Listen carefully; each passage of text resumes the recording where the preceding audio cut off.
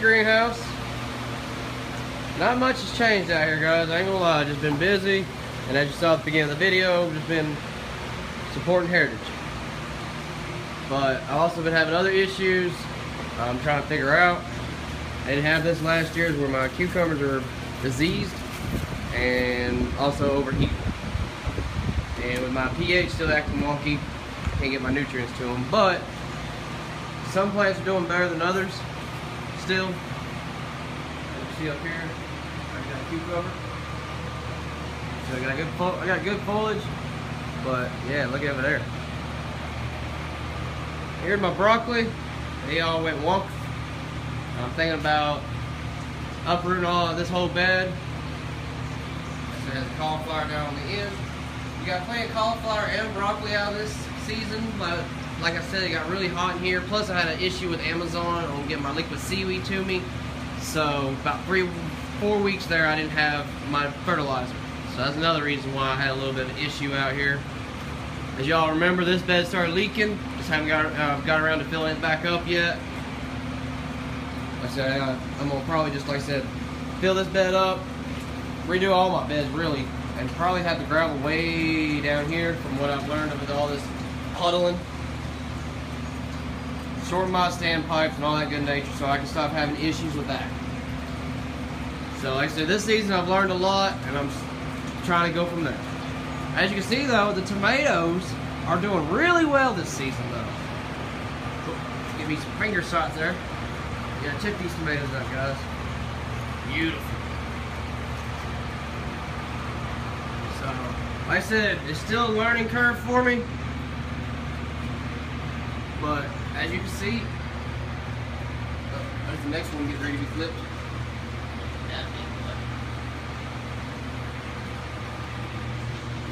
This bed still has no occupants in it. But like I said, it's still a learning curve. Learning what I'm gonna do out here. So that's what's going on with the grow beds. Sump tank's still doing its thing. Splash guard has ultimately helped a lot with evaporation as well. And my beds are no longer getting wet. About time to clean the filter out again. I don't know if y'all be able to see that down in there. Yeah, look at that. It getting kind of dirty in there.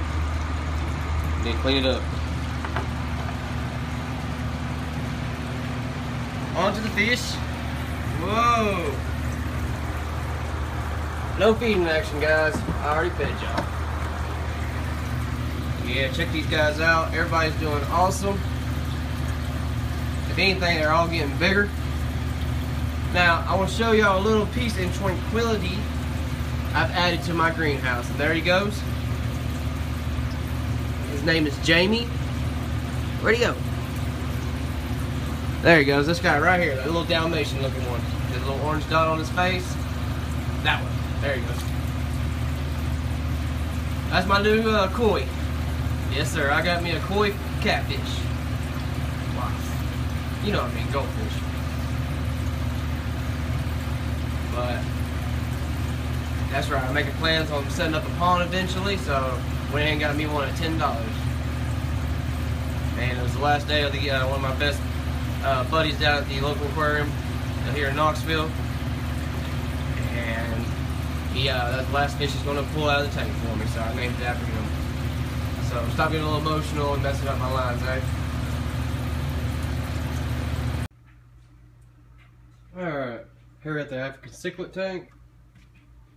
Still doing their thing. Bumblebee, still my favorite in this tank. This guy's getting picked on a lot lately. Getting beat up. Lemon over there showing it. Gotta get the timeout chamber again. Opal's doing good.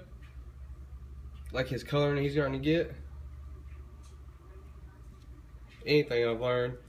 I'm probably gonna have a tank full of this guy right here. Maybe some bumblebees, because they, they seem to get along. The only two in this whole tank. Suckerfish still doing good. This guy right here, though, loves to mess up my landscape all the time. Just got through doing a water change. I'm surprised he ain't spitting rocks out right now.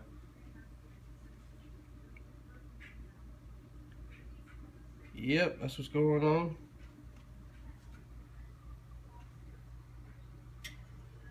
Thinking about reducing numbers in here. See if I get some store credit at my local fish store up there at the aquarium.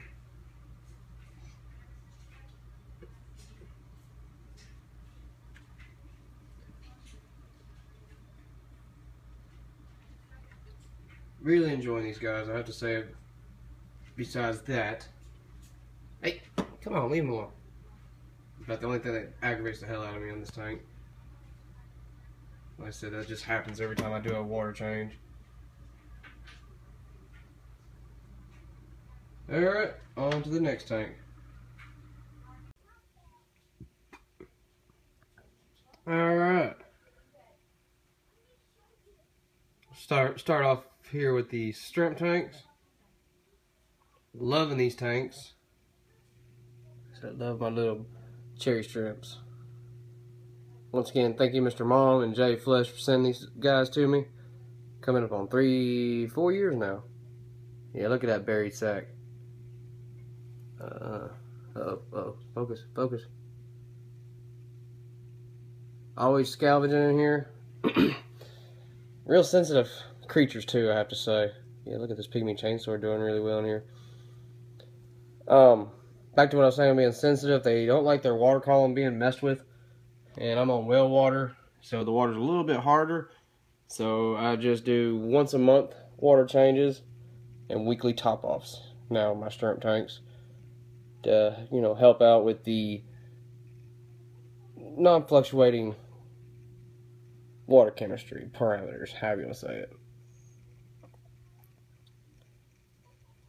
Once again, look at that. Uh, got a lot of moss in here too. Still, need to trim it up, but kind of let it go wild, do its own thing in here. I really love the results I get with this tank.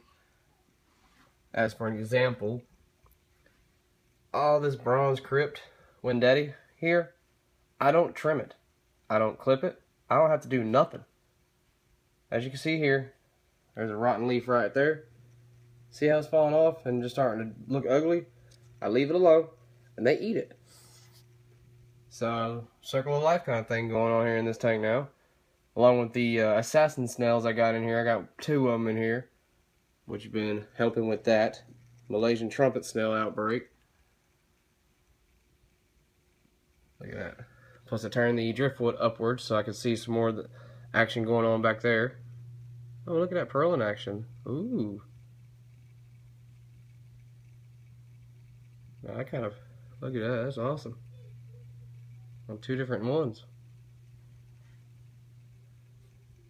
I'm going to put that heater down underneath the uh, driftwood area back there, try to hide it. You know, the eyesore. um, Bacopa is doing been okay. It slowed down on me like the Stargrass did, and it's not growing as fast and producing as many clippings for me here lately. But as you can see, it looks good. I'm still enjoying it. The uh, pygmy is not taking up as fast as I want it to.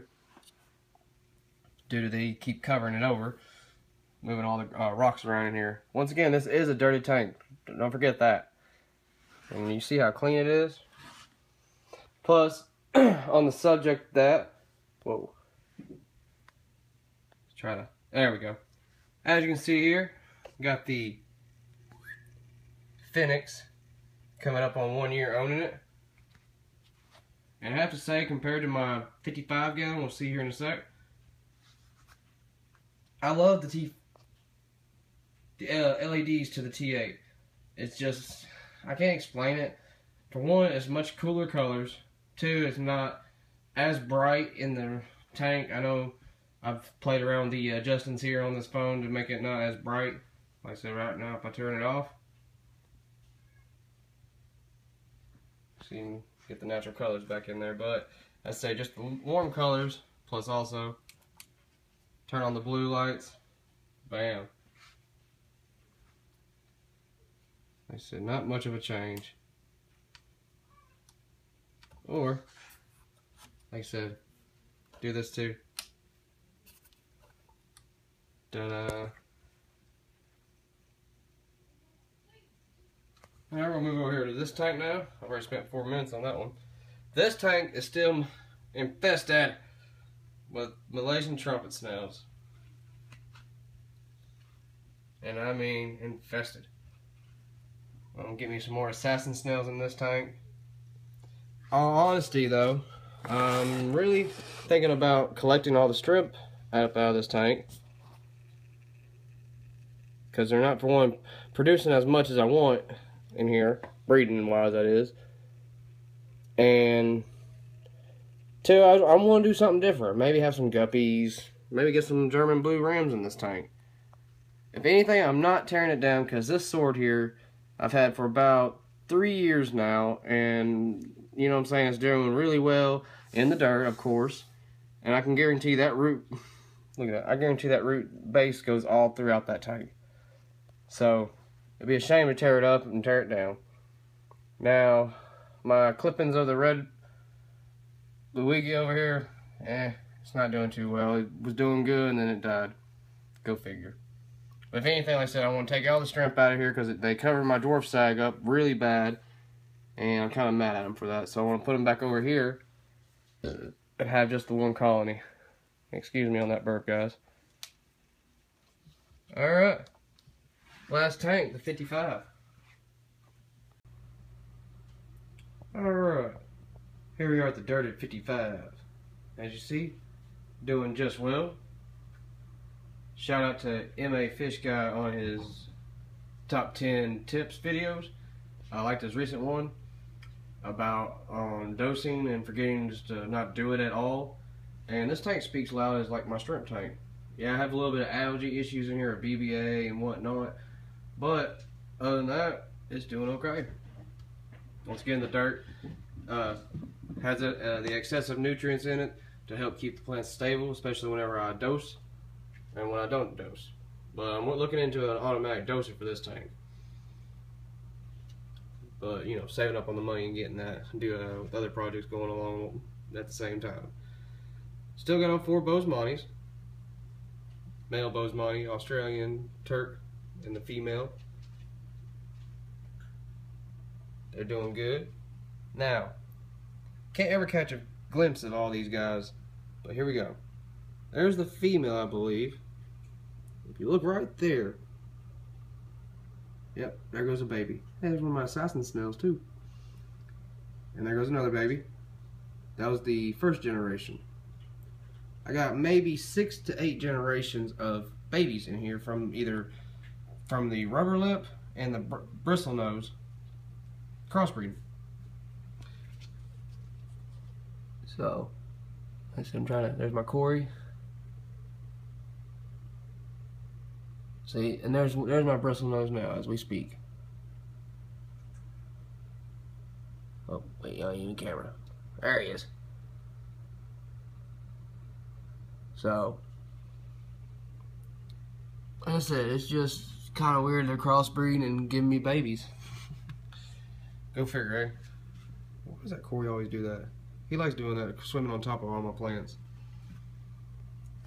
Um, the Pygmy Chainsword, I believe, is getting starved out of light and maybe the lack of nutrients from my dosing regularly. But like I said, they're kind of dying off a little bit, but at the same time, I got new growth. So, like I said, the tank's doing just fine in my opinion. Like I said, I agree with MA Fish Guy. And once again, got two assassin net snails there. I'm sorry, guys. That's another thing I've noticed too less MTS in this tank. I mean, a lot less. So, that's always a good thing too. Once again, the dwarfs are doing good. And we'll go ahead and just zoom in right here. Yeah, look right there. Little shame for y'all. Little BBA right there. You get in there and clip that out of there. But, that's what happens. But as long as you keep it in check, remove what you see infected when you find it, clip it out. You know what I'm saying? When you're doing your uh, feedings, and you take care of it. Like right here, for example, this whole area was engulfed in BBA. Now look at it. One little spot. And my Rosie. Yep, that's my pair of Rosies. I've had them for about three or four years now. They're doing a long haul on me. Plus, they're finally getting along. Go figure. My last little rummy nose. Y'all remember I had a pack of them in here, about 18. Due to the winter storms, it killed off every one of them except for him. My little sole survivor. Along with my other pack of, or what I'm saying pack of schools, uh, my black neons. And he's not in the camera right now. He's hiding. So he's still going on strong for me as well. Look there. There's another generation. I think that's three or four. I was trying to find a little baby for y'all right now, but I can't find one. Maybe with all this scavenging right now, they got spooked off. I said it's getting close to feeding time. Yep.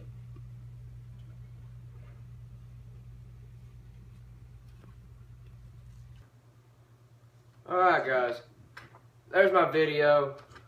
I appreciate the two guys that got me fired up to finally get back to making videos. I'm going to try to get back to a regular basis of it. I really miss it. And like I said, I've just been real busy, overworked, and trying to get stuff taken care of. But like I said, I lost my fire, but they got me fired back up. First off, I'm to start off with Jay Wilson. Everybody knows him, the king of contest. He gave me a shout out on his last video from his contest winning, winnings and he didn't have to do that, but he did. He did. The, he also went back on my channel, saw where I was, see where I'm at, and see where I'm going. And I great, greatly appreciate him doing that. I know it's been a long time since he made that video, and I'm just not getting around to making it. Then on the other hand, the king of DIY, Joey himself, Mr. Big Star, remembered who I was, saying that he ain't seen a video from me in a while, and he called me out on it. And I greatly appreciate it. You hit me right there, buddy, and I appreciate it. Now, once again, at the beginning of the video, I've been supporting my heritage. It's not hate. I don't, I'm not going to get into all that with all y'all in the comments whatsoever.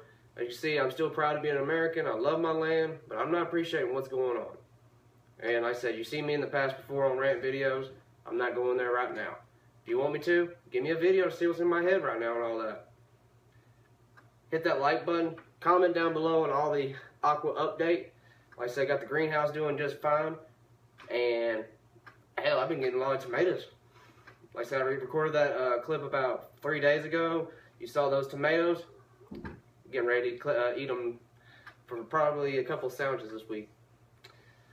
But keep on tuning in, guys. I promise I ain't going nowhere. I'm going to keep on making content and getting back to it.